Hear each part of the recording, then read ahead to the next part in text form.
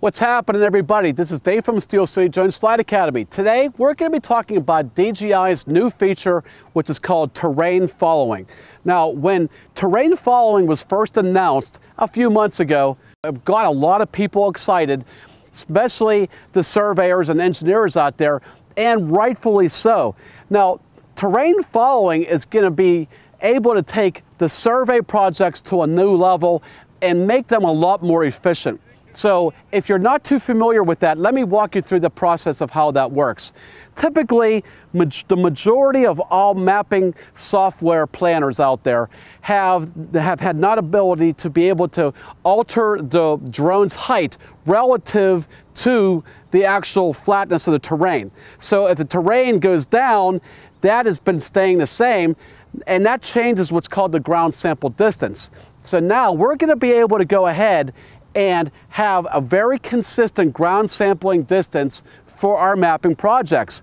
And that's going to allow us to be able to either eliminate ground control points or reduce the number of ground control points that we might have had to have because in high terrain changes of, of projects. So that's going to be really, very helpful. Now, what most people don't understand though, it is not a plug and play feature that you can just turn on in your app. It is a very complicated process to be able to go through. Now, once you be able to have that down packed, it is not too difficult of a process, but I would like to talk about what the process does include. Now, it has to be done through a third-party app, like DJI Terra, for example, but that's not free. Now, there are software applications out there that we use, like QGIS, and that is another way to be able to go ahead and get what's called a DSM. That DSM has to be pre-programmed and loaded into the smart controller and pre-programmed into the flight before we can actually use it. So it is an involved process. And we go through that whole process in our Matrice 300 online course that we have on our website and we really go through that. It's actually over an hour video just on how to create the digital model for this. But I'm just gonna go ahead and walk you through this process now of what we're gonna do.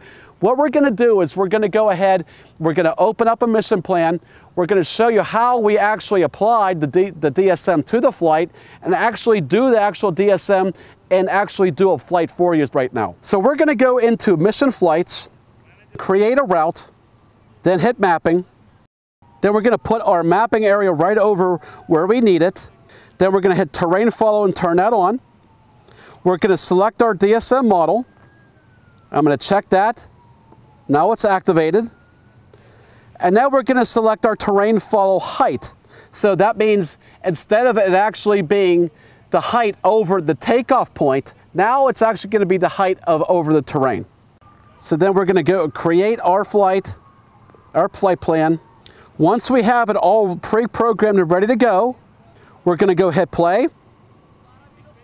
We're going to upload the flight mission. We're going to hit start.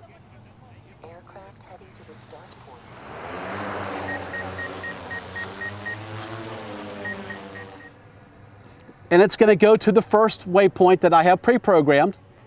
And once it gets to that first waypoint, it's going to go to that predetermined altitude that I set. And now, as you can see, it's slowly rising 153 feet.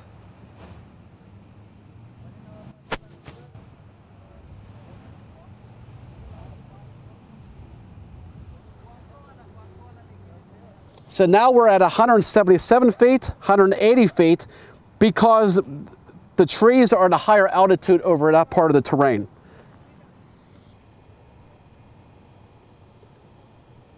And as it gets over the hillside, it's going to be going up.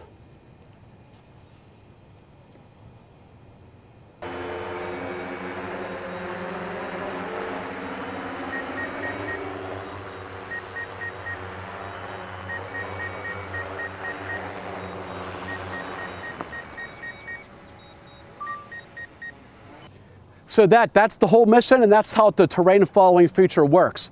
Once we get the DSM in there and programmed, it's really easy to do, but it is a lot of process to be able to get that digital surface model in place. So if you want more information on that, please check out our online course. We offer a lot more, we show you step by step on how to be able to do that. And if you have any questions, please let me know. Until next time, thanks again. We'll talk to you soon.